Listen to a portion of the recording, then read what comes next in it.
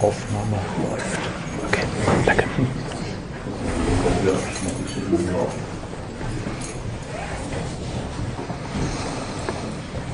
So, schönen guten Morgen. Wir sind Christen. Das nicht unbedingt, weil wir das so wollten oder uns das ausgedacht haben, sondern weil Gott uns das geschenkt hat. Dass wir Christen heißen, uns nennen dürfen, ist ein Geschenk. Wir haben uns das nicht selber ausgedacht. Gott schenkt die Buße und Gott schenkt die Erlösung, die Glauben, den Glauben an Golgatha, an das Evangelium, an die Vergebung unserer Sünden. Und Gott schenkt darüber hinaus auch noch die Heiligung. Und das ist das Thema, worum es heute Morgen gehen soll. Thema Heiligung. Ist natürlich ein sehr großes Thema. Und ich will versuchen, mir ein paar biblische, gute Gedanken zu machen und euch weiterzugeben. Und ich hoffe, das gelingt. Zu Anfang möchte ich dann gleich einen Text lesen. Und zwar steht er im ersten Korintherbrief, Kapitel 1, Verse 25 bis 31. 1. Korinther 1, 25 bis 31.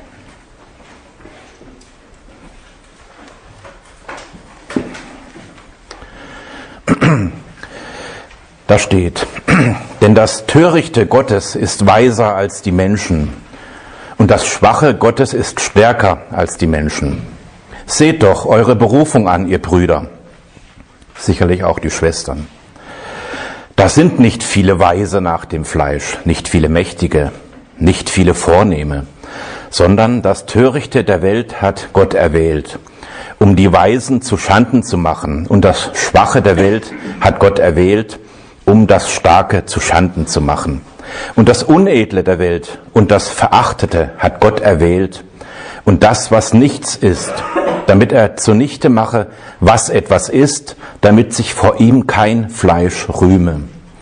Durch ihn aber seid ihr in Christus Jesus, der uns gemacht worden ist zur Weisheit, zur Gerechtigkeit, zur Heiligung und zur Erlösung, damit es geschehe, wie geschrieben steht, wer sich rühmen will, der rühme sich des Herrn.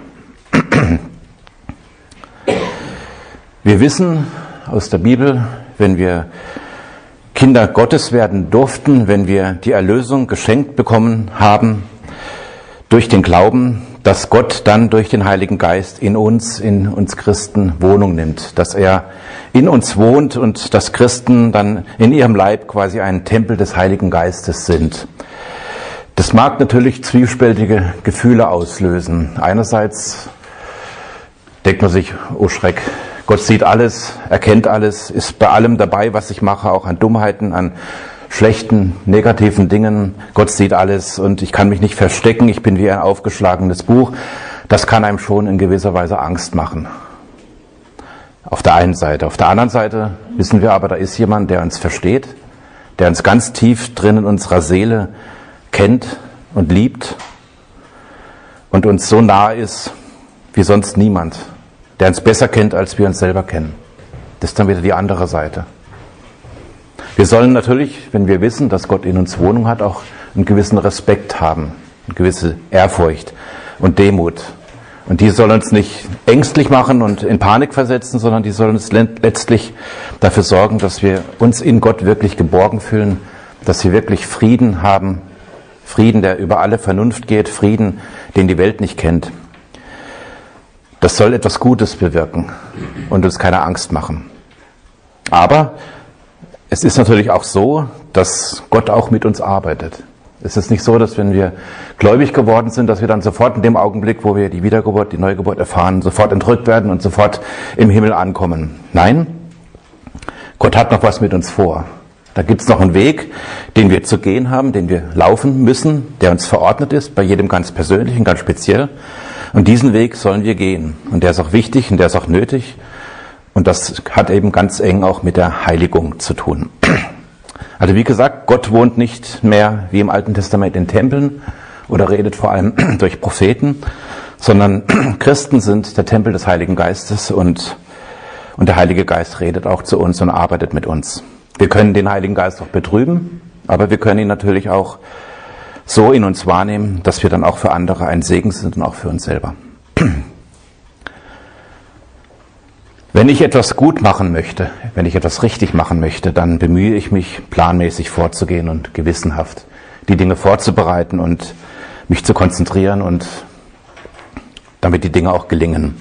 Wenn ich zum Beispiel ein gutes Essen zubereiten will, muss ich natürlich überlegen, was ich mache, was ich einkaufe, was ich besorge, wie die Vorbereitungen sind, wie ich alles zubereite und so weiter.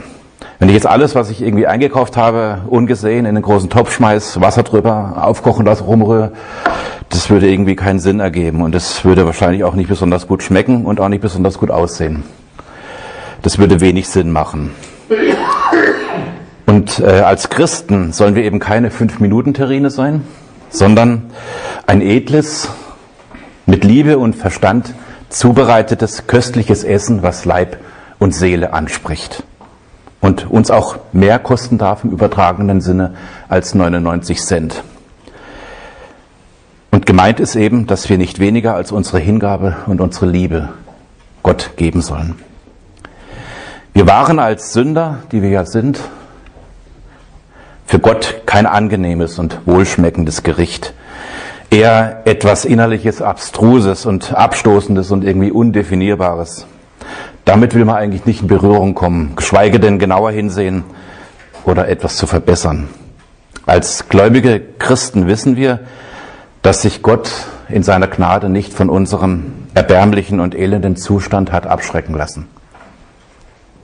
Die Frage ist nun, erschrecken wir noch vor uns selber, wenn wir manches an uns sehen und wahrnehmen, was Gott nicht gefallen kann? Oder ist es das eher egal, weil wir sagen, wir sind erlöst, nach mir die Sintflut, alles andere interessiert mich nicht mehr? Die Bibel ermahnt uns ernsthaft und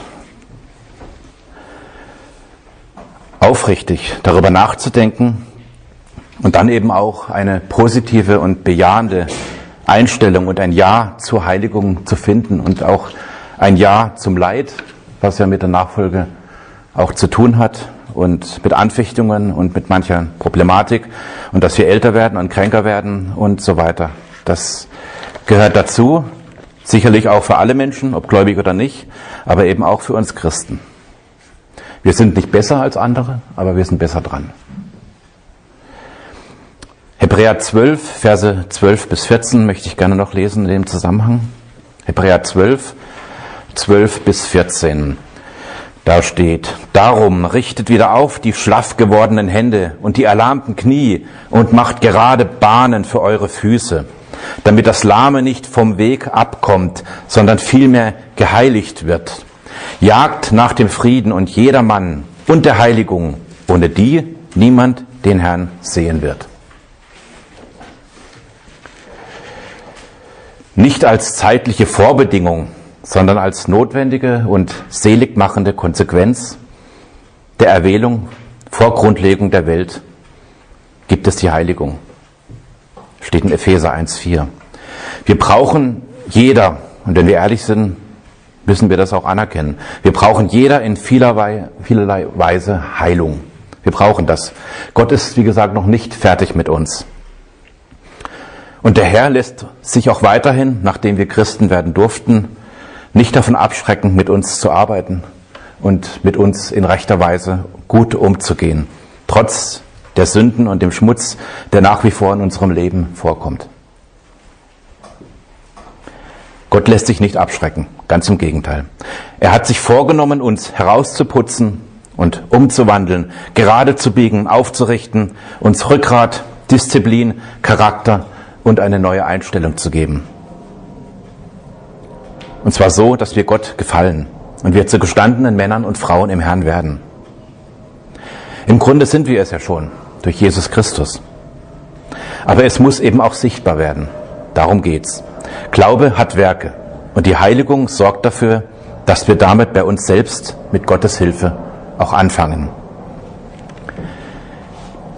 Es wird niemand von uns etwas wollen oder sich angezogen fühlen, wenn wir gelangweilt, gleichgültig, demotiviert, chronisch trübsinnig oder immer nur genervt sind.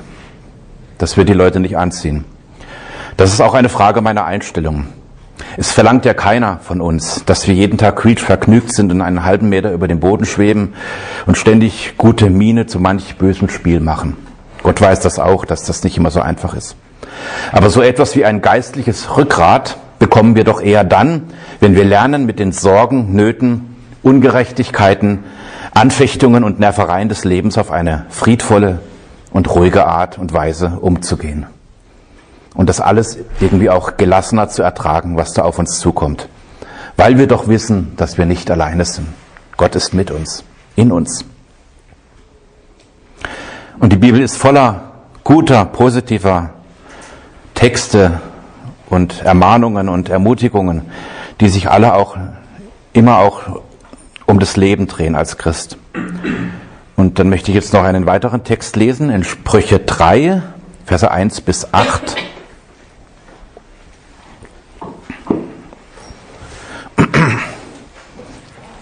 Wir haben uns ja auch in letzter Zeit mit den Sprüchen ein bisschen beschäftigt und, und auch die Sprüche haben zu diesem Thema was zu sagen. Sprüche 3, 1, 1 bis 8. Mein Sohn, vergiss meine Lehre nicht und dein Herz bewahre meine Gebote. Denn sie werden dir Verlängerung der Tage und Jahre des Lebens und viel Frieden bringen. Gnade und Wahrheit werden dich nicht verlassen. Binde sie um deinen Hals, schreibe sie auf die Tafel deines Herzens, so wirst du Gunst und Wohlgefallen erlangen in den Augen Gottes und der Menschen.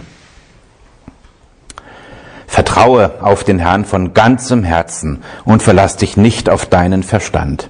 Erkenne ihn auf allen deinen Wegen, so wird er deine Pfade ebnen. Halte dich nicht selbst für weise, fürchte den Herrn und weiche vom Bösen. Das wird deinem Leib Heilung bringen und deine Gebeine erquicken. Wenn wir die Heiligung annehmen, und uns auch selbst darum bemühen, die Empfehlungen der Bibel in der Hinsicht ernster zu nehmen, wird uns das auch körperlich gut tun. Das sagt dieser Text. Oft sind wir ja auch gerade deshalb so anfällig und dem frustrierten Müßiggang näher als der Nachfolge Jesu, weil es uns körperlich und seelisch nicht so gut geht. Die Bibel lehrt, dass man das ändern kann. Bei dir und bei mir. Gott sprach im zweiten Buch Mose, Vers 19 bis 16, vom Berg Sinai zu den Israeliten. Ihr sollt mir ein Königreich von Priestern und ein heiliges Volk sein. Das war Gottes Wille. Die Heiligung war also Gottes Plan und seine Idee, als er die Israeliten aus Ägypten und auch uns herausgerufen hat aus dieser Welt. Nicht damit wir reich werden, nicht damit wir anerkannt werden von der Welt, nicht aus welchen Gründen auch immer, sondern damit wir heilig werden. Das war sein Wunsch. Ihr sollt heilig werden. Und wir sollen einmal als Könige und Priester im Himmel leben. Steht in Offenbarung 1 bis 6. Das ist unsere Zukunft.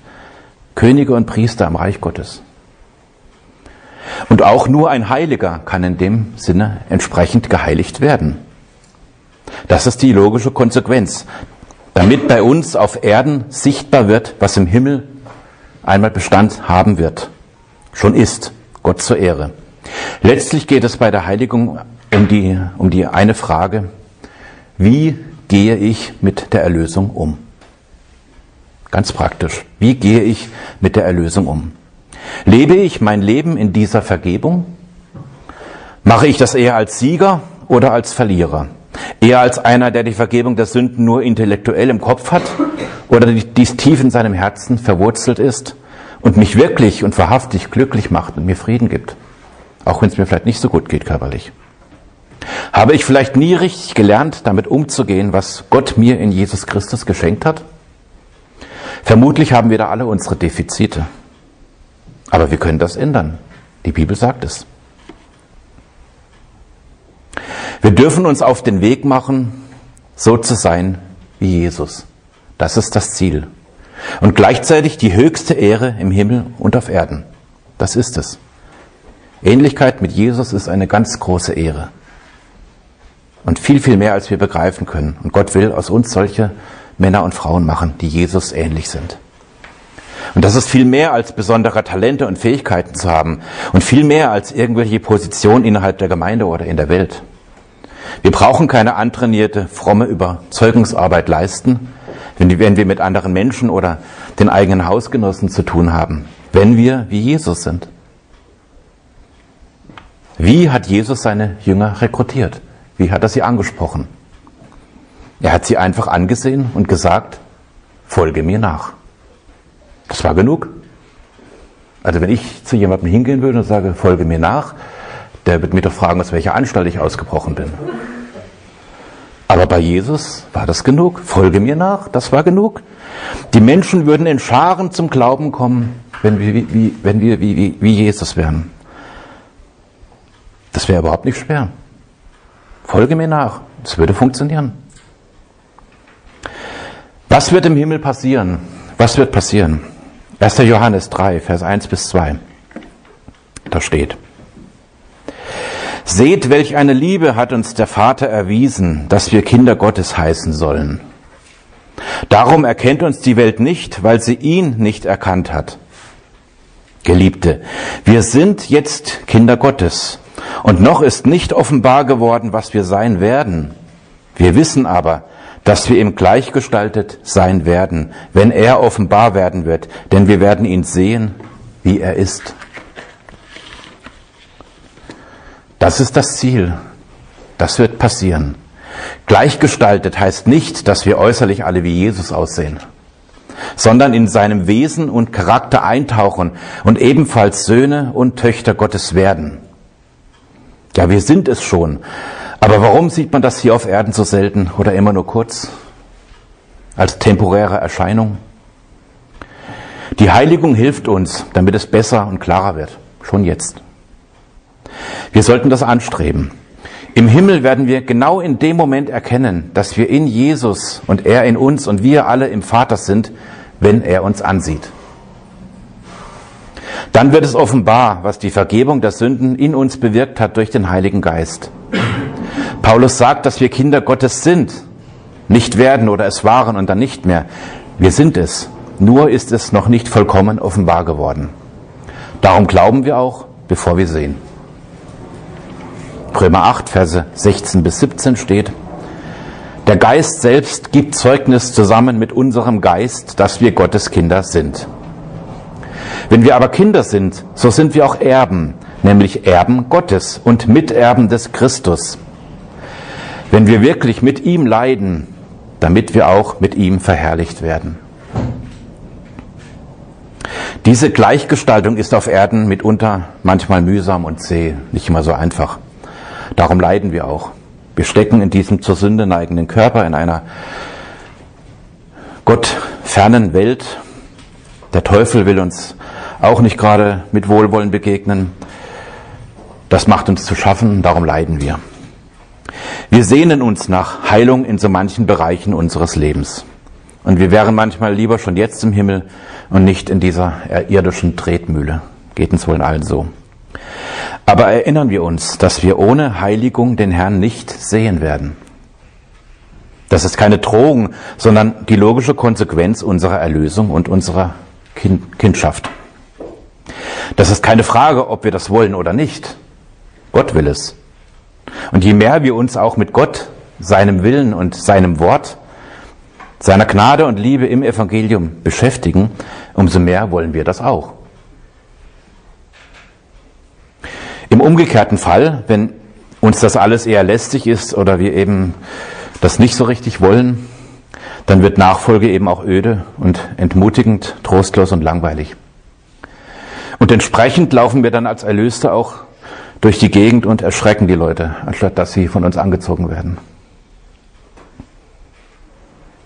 Heiligung und Heiligkeit ist im Grunde dasselbe. Es hat dieselbe Bedeutung von der Übersetzung her.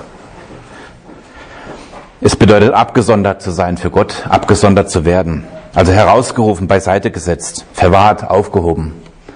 Das Geheiligtsein bedeutet aber nicht, vollkommener zu werden. Das ist ein großer Irrtum. Geheiligt sein bedeutet nicht vollkommener zu werden, denn sonst hätte sich Jesus ja nicht selbst heiligen müssen. Er war bereits vollkommen, ohne Sünde. Aber er tat es trotzdem. Johannes Vers 17, Verse 19 bis 23, hohepriesterliche Gebet. Da betet Jesus zu seinem Vater. Und ich heilige mich selbst für sie, damit auch sie geheiligt seien in Wahrheit. Ich bitte aber nicht für diese allein, sondern auch für die, welche durch ihr Wort an mich glauben werden, auf dass sie alle eins seien, gleich wie du, Vater in mir und ich in dir, auf dass auch sie in uns eins seien, damit die Welt glaube, dass du mich gesandt hast. Und ich habe die Herrlichkeit, die du mir gegeben hast, ihnen gegeben, auf dass sie eins seien, gleich wie wir eins sind. Ich in ihnen und du in mir, damit sie zur vollendeten Einheit gelangen und damit die Welt erkenne, dass du mich gesandt hast und sie liebst, gleich wie du mich liebst. Darum wird über Jesus auch gesagt, dass er an dem, was er erlitten hat, den Gehorsam lernte. Hebräer 5.8. Er heiligte sich selbst, obwohl er Gottes Sohn war. Er tat es für uns, weil er nicht nur der Urheber unseres Heils ist, nämlich der Vergeber unserer Sünden, sondern auch der Urheber unserer Heiligung. Jetzt verstehen wir vielleicht auch besser, was es bedeutet, wenn von Jesus gesagt ist, dass er der Anfänger und Vollender des Glaubens ist. Hebräer 12.2. Beides sind Voraussetzungen für das ewige Leben im Himmel bei Gott. Beides tat Jesus für uns.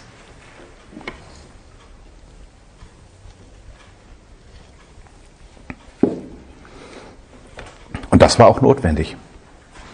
Hätte uns Gott mit der Erlösung alleine gelassen und es in unsere Hände gelegt, mit unseren Mitteln in dieser dämonisierten, üblen und gottesfeindlichen Welt als zarter Gläubiger klarzukommen, wie weit wären wir gekommen? Wir wären für den Teufel ein gefundenes Fressen geworden. Gott ist unser Heil in Jesus Christus und auch unsere Heiligung. 2. Korinther 4, 7 steht, wir haben aber diesen Schatz in irdenen Gefäßen, damit die überragende Kraft von Gott sei und nicht von uns. Darum ist uns der Glaube verordnet. Nicht damit wir etwas bewirken, was nur Gott tun kann, sondern um darin zu leben. Darum sollten wir auch unbedingt ein herzliches Ja zur Heiligung sagen. So wie bei der Hochzeit. Ja, ich will in guten wie in schlechten Zeiten. Und im Grunde ist es ja auch eine Hochzeit. Ne? Das tun wir, indem wir Jesus Christus in unseren Herzen heiligen. 1. Petrus 3,15. Konkret könnte das bedeuten, auf seinen Glauben zu verweisen bei Gelegenheit und sich eben nicht zu schämen, das Evangelium weiterzugeben, seinen Namen zu ehren und zu verteidigen und seine Nächsten zu lieben wie sich selbst und so weiter. Wir können, sollen mitarbeiten, kein Trübsal blasen und immer nur über diese schlimme Welt jammern. Wir haben leider keine andere. Machen wir das Beste draus. Gott hilft uns. Und wie allumfänglich diese Heiligung nun ist, zeigt sich auch in der biblischen Tatsache, dass sie bereits vor meiner Bekehrung zur Anwendung kam. Wir wissen aus der Bibel, und zwar steht es in 1. Korinther 2, 14, dass der natürliche Mensch nichts vom Geist Gottes versteht. Natürliche Menschen sind wir alle. Und dann lesen wir aber in 1. Thessalonicher 2.13 folgendes. Darum danken wir auch Gott unablässig, dass ihr, als ihr das von uns verkündigte Wort empfangen habt, es nicht, es nicht als Menschenwort aufgenommen habt, sondern als das, was es in Wahrheit ist, als Gottes Wort, das auch wirksam ist in euch, die ihr gläubig seid. Die Heiligung hat etwas mit Auserwählung, dem Heiligen Geist und dem Glauben an die Wahrheit zu tun. Man kann die Wahrheit auch hören und lesen und sie doch nicht glauben. Und auch etwas für wahr halten muss nicht zwangsläufig bedeuten, dass man im eigentlichen und biblischen Sinne auch daran glaubt. Das Wort wird dann lebendig, wenn wir, wenn wir es verstehen und erfassen und es in unserer Seele sich bestätigt, wenn wir gläubig sind, nicht vorher. Nicht umgekehrt. Gut möglich, dass wir das anders erleben, als wir uns mit dem Wort Gottes beschäftigt haben aber der Glaube muss schon da gewesen sein, bevor Gott uns die Buße und die Bekehrung ermöglichte. Denn auch das kommt nur von Gott und nicht aus uns selbst. Steht in Römer 2,4. Oder verachtest du den Reichtum seiner Güte, Geduld und Langmut und erkennst nicht, dass dich Gottes Güte zur Buße leitet? Noch einen Beweis mehr? 1. Petrus 1,2. Petrus, Apostel Jesu Christi, an die Fremdlinge in der Zerstreuung in Pontus, Galatien, Kappadokien, Asia und Bithynien, die auserwählt sind, gemäß der Vorsehung Gottes, des Vaters in der Heiligung des Geistes, zum Gehorsam und zur Besprengung mit dem Blut Jesu Christi. Gnade und Friede werde euch mehr und mehr zuteil. Jesus ist unsere Heiligung, steht in 1. Korinther 1,30. Das bedeutet, Gott hat einen Plan, ein Programm mit jedem Einzelnen, der zu ihm gehört und einer seiner Heiligen ist. Du bist nicht der Meister deines Schicksals. Gott sei Dank. Und versuche es auch nicht zu sein. Gott weiß es immer besser. Wir sind tatsächlich auserwählt zum Gehorsam. Und deshalb wird uns auch immer alles zum Besten dienen und zum Guten mitwirken, steht in Römer 8, 28. Auch das Unangenehme, auch das Schwierige, auch das Nervige, auch das Belastete und aus unseren Augen manchmal Überflüssige. Wir können es uns sicherlich selbst schwer machen, indem wir machen, was wir wollen und Gottes Gebote nicht so ernst nehmen oder uns unwissend stellen. In dem Zusammenhang ist es auch wichtig, dass wir die Gemeinschaft suchen und auch regelmäßig in die Gemeinschaft gehen. Das ist Gottes Wille. Das gehört auch zur Heiligung dazu, um Gottesdienst teilzunehmen, Bibelstunden teilzunehmen, Gebetszeiten zu haben. Das ist eine wichtige Sache. Sollten wir nicht unter den Teppich kehren oder nicht so ernst nehmen. Wenn es geht, sollen wir immer in die Gemeinde gehen. Es ist nun mal so, je besser wir uns in der Bibel auskennen, Gemeinschaft haben und an Erkenntnis gewinnen, desto mehr verstehen wir, dass wir gehorsam sein sollten. Aber nicht aus Angst, wie gesagt, oder Zwang oder sonst etwas, sondern aus Liebe und Dankbarkeit. Jesus sagte in Johannes 14, 21 entsprechend, wer meine Gebote festhält und sie befolgt, der ist es, der mich liebt. Wer aber mich liebt, der wird von meinem Vater geliebt werden. Und ich werde ihn lieben und mich ihm offenbaren. Wer das nicht will, sollte lieber unwissend bleiben und unmündig. Aber Gott will das so nicht. Wir sollen wachsen und Gottes Wort verstehen und lieb gewinnen. Auch dies ist ein Teil der Heiligung, denn Gottes Worte werden nie vergehen. Josua 1, Vers 8 steht. Lass dieses Buch des Gesetzes nicht von deinem Mund weichen, sondern forsche darin Tag und Nacht, damit du darauf achtest, alles zu befolgen, was darin geschrieben steht. Denn dann wirst du gelingen haben auf deinen Wegen und dann wirst du weise handeln. Und was steht nicht alles in der Bibel? Zum Beispiel über die Waffenrüstung Christi. Epheser 6, 10 bis 18. Das sind Elemente eines starken christlichen Charakters. Eines Gläubigen also, der in der Heiligung vorangekommen ist, wenn er die Waffenrüstung hat und benutzt. Und sich diese Worte zu Herzen genommen hat und sie auch praktiziert. Unsere Gegner in dieser Welt und somit auch Feinde unserer Heiligung sind, wie gesagt, diese Welt, der Teufel und unser Fleisch.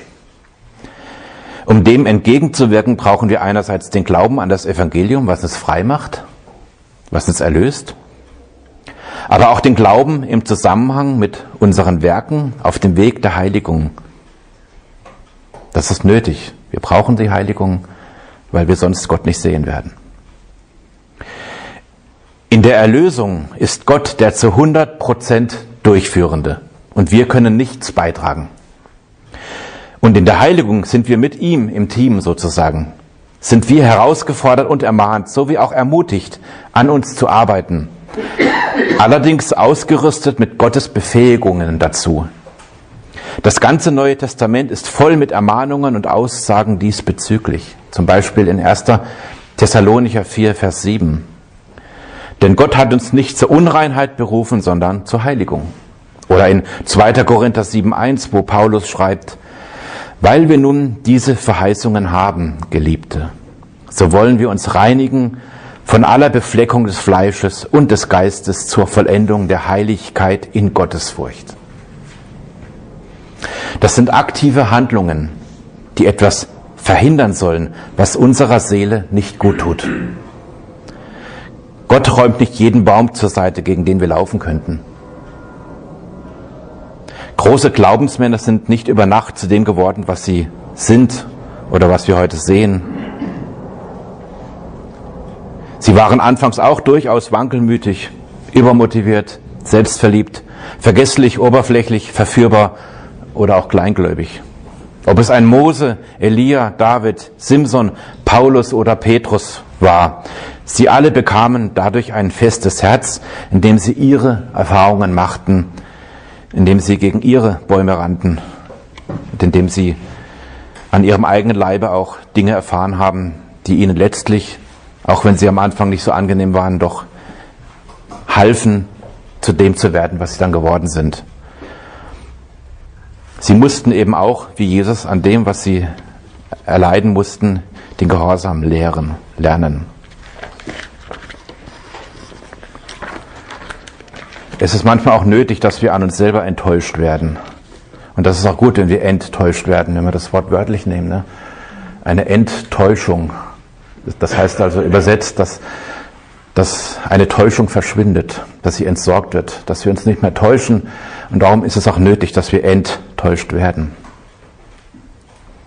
Aber diese genannten Personen, Gott hat sich festgehalten. Er hat sie nicht ihrem Schicksal überlassen und in ihrer Schwachheit und Resignation nicht alleine gelassen. Und das macht er auch bei uns nicht. Wir alle profitieren heute von den Erlebnissen dieser gläubigen, geheiligten Menschen, weil sie unter Gottes Aufsicht aufgeschrieben haben, was sie erlebten und wie sie ihre in ihre Aufgabe hineingewachsen sind und Gehorsam gelernt haben und auch ihre Gaben eingesetzt haben, die Gott ihnen gegeben hat. Und eben auch, dass sie dazu eine positive Einstellung gefunden haben.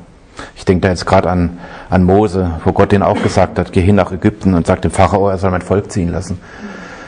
Also er hat sich überhaupt nicht damit angefreundet. Er wollte das eigentlich nicht. Er hat eine, schwere Zunge, ich kann nicht gescheit reden und so. Und wer bin ich denn? Ich will das eigentlich gar nicht. Und, aber er ist in diese Aufgabe hineingewachsen. Hat seine Zeit gedauert, aber Gott hat geholfen. Gott hat es gewollt und Gott hat dafür gesorgt, dass er es auch wollte. Unsere Heiligung ist eine Hinführung zur Wirklichkeit. Unsere Heiligung ist eine Hinführung zur Wirklichkeit. Der Geist Gottes ist nicht manipulativ, sondern zeigt uns die Wahrheit und die Wirklichkeit. Alles, was dies letztlich nicht bewirkt, ist dann tatsächlich manipulativ. Und eben auch sündig. Dem sollten wir aus dem Weg gehen.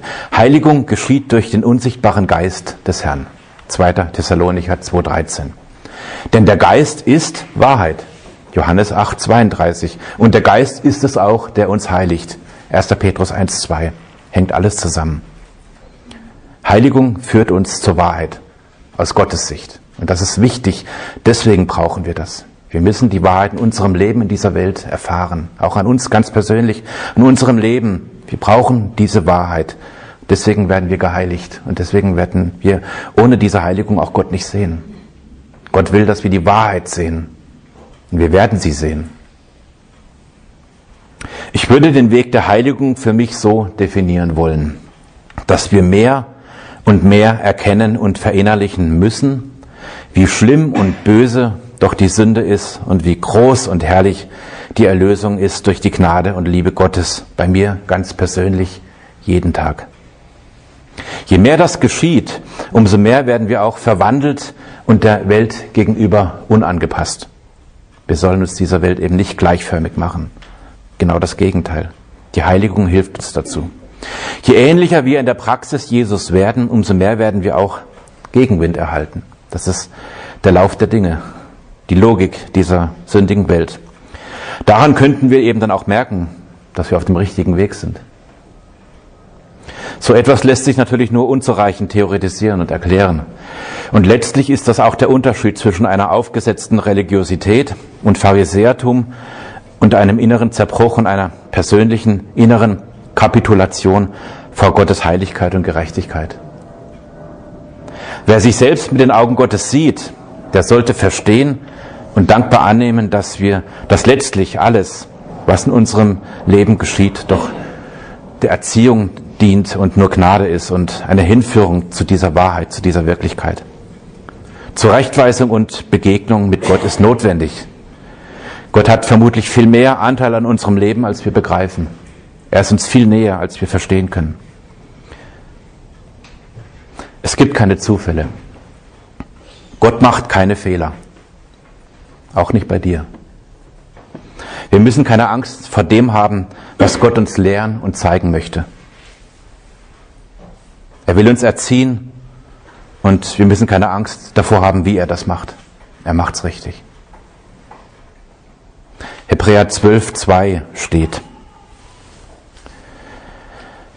Lasst uns laufen mit Geduld in dem Kampf, der uns bestimmt ist und aufsehen zu Jesus, dem Anfänger und Vollender des Glaubens.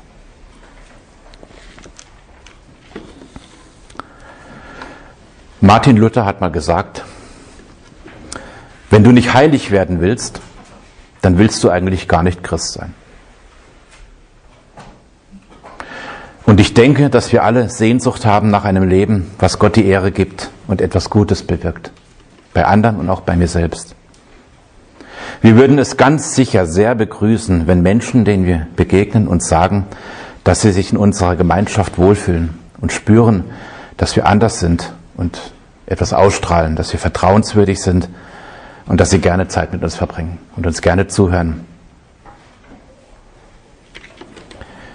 Jetzt möchte ich gerne noch was zitieren. Und zwar, was Charles Haddon Spurgeon über die Heiligung gesagt hat. Klingt vielleicht ein bisschen, ja, ungewöhnlich, aber der hat ja auch, weiß ich, vor 150 Jahren oder so gelebt. Ne? Also Spurgeon sagte zum Thema Heiligung. Liebe Brüder, ich ermahne euch zu beachten und sorgfältig zu erwägen, welchen großen Wert Gott auf wahrhaftige Heiligung setzt weil die drei Personen nach der Schrift zusammenwirken, nämlich Vater, Sohn und Heiliger Geist, zur Schaffung einer Gemeinde, die da sei, ohne Flecken oder Runzel oder des Etwas. Epheser 5, 27. Menschen, die die Heiligung des Herzens verachten, setzen sich in offenen Widerspruch mit Gott. Heiligkeit ist der Bauplan, nach dem Gott seinen lebendigen Tempel baut.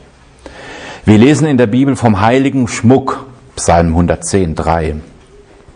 Nichts ist herrlich vor Gott, als was heilig ist. Alle Herrlichkeit Luzifers, des Lichtgeborenen, konnte ihn nicht vor dem, vor, der, vor dem göttlichen Abscheu schützen, da er sich durch die Sünde geschändet hatte. Heilig, heilig, heilig, dass die Cherubim ohne Aufhören rufen, ist der erhabene Lobgesang, den Geschöpfe darbringen können, die herrlichste, den die Gott empfangen kann. Darum sie, er achtet Heiligkeit als seine Lieblingsschmuck. Sie ist wie das Siegel auf seinem Herzen und wie der Siegelring an seiner rechten Hand. Eher könnte er, nämlich Gott, aufhören zu leben, als heilig zu sein. Eher die Herrschaft über die Welt aufgeben, als irgendetwas in seiner Gegenwart zu dulden, was nicht rein, nicht gerecht, nicht heilig wäre. Ich beschwöre euch, die ihr euch als Nachfolger Christi bekennt legt einen hohen Wert auf ein reines Leben und gottselige Rede. Achtet das Blut Jesu Christi als den Grund eurer Hoffnung, teuer, aber sprecht nie geringschätzig von dem Werke des Heiligen Geistes, welches euch tüchtig macht zum Erbteil der Heiligen im Licht. Ja, vielmehr rühmt es, preist es so von ganzem Herzen, dass ihr sogar den Schein des Bösen fürchtet. Schätzt es so hoch, dass ihr in euren gewöhnlichsten Handlungen dasteht, als, jetzt zitiert er 1. Petrus 2.9, das königliche Priestertum, das heilige Volk, das Volk des Eigentums, dass ihr verkündigen sollt die Tugenden dessen, der euch berufen hat von der Finsternis zu einem wunderbaren Lichte. All das und sicherlich noch mehr beinhaltet ein Leben als Christen der Nachfolge und Heiligung.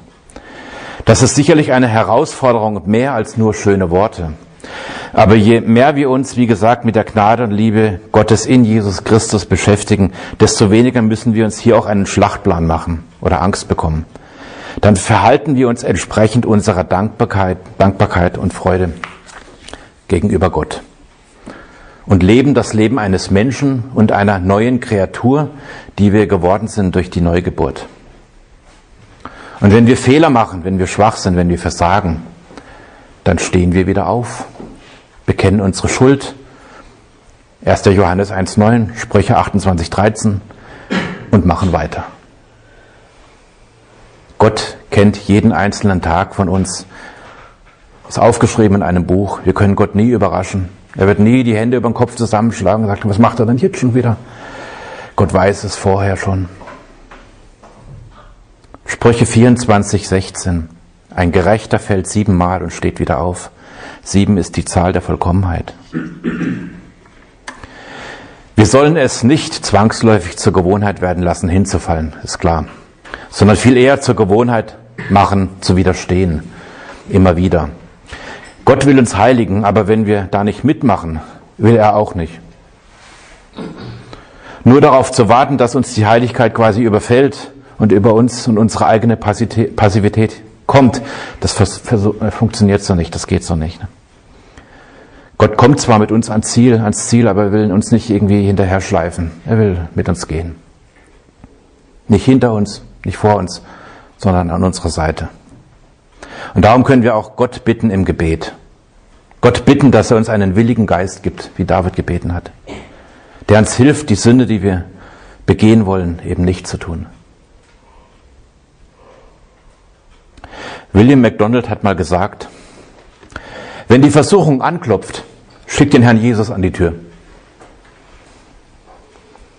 Ein weiterer Aspekt der Heiligung ist natürlich auch, wie wir erwähnt haben, unsere Gedankenwelt. Was wir denken, wird gewöhnlich auch zu entsprechenden Taten führen. Darum ist auch wichtig, dass auch unser Kopf, unsere Gedanken auch geheiligt werden, dass wir da gute Gedanken haben, dass wir vielleicht auch Lieder im Kopf haben, die wir im Gottesdienst singen. Wenn wir morgens aufwachen und ein schönes Lied im Kopf haben. Wichtig ist, was wir denken, dass wir auch versuchen, dann nicht über die Maßen Dinge zu konsumieren, die uns eben dann eher Richtung Welt als Richtung Himmel beeinflussen. Gedanken sind wichtig, Gedanken sind gut, aber wir müssen auch die Gedanken heiligen und sie auch unter den Gehorsam Christi stellen. William MacDonald hat gesagt, die Gedanken eines Menschen sind der Index seines Charakters. Die Gedanken eines Menschen sind der Index seines Charakters. Und in Sprüche 23, Vers 7 steht, denn wie er in seiner Seele berechnend denkt, so ist er.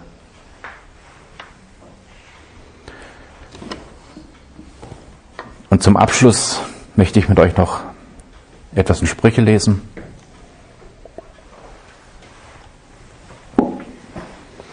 Sprüche 4, 23 bis 27. Eine Ermahnung vom König Salomo. Und er war ja auch gerade einer, der viel durchgemacht hat in seinem Leben, der viel erlebt hat, der viel Weisheit hatte.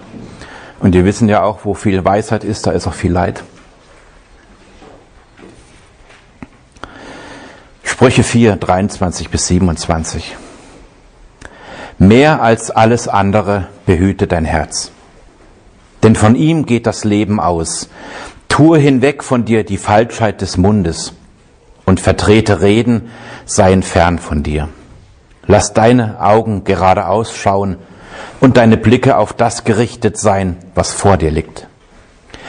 Mache die Bahn für deinen Fuß gerade und alle deine Wege seien bestimmt. Weiche weder zur Rechten ab noch zur Linken, halte deinen Fuß vom Bösen fern. Ja, ich möchte vielleicht noch zum Abschluss mit uns beten.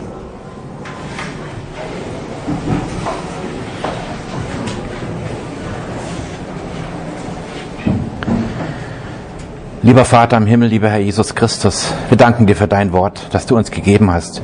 Wir danken dir auch für das Verständnis, was du durch deinen Heiligen Geist in uns hineingelegt hast und hineinlegen möchtest.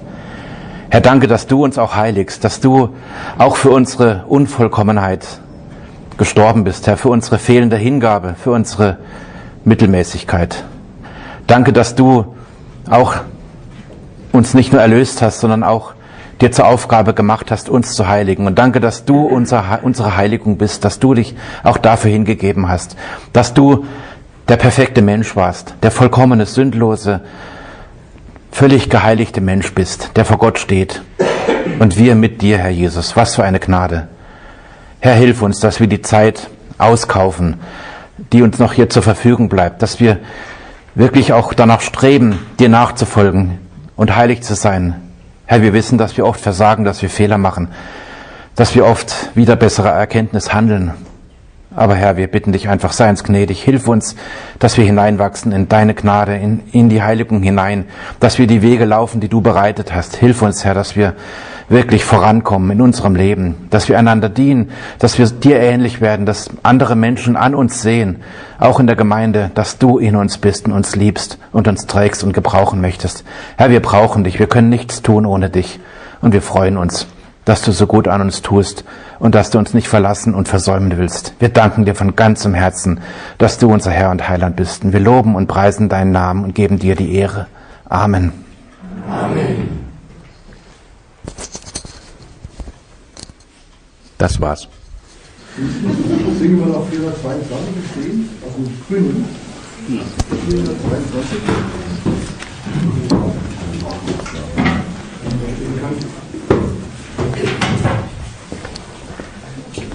Thank you.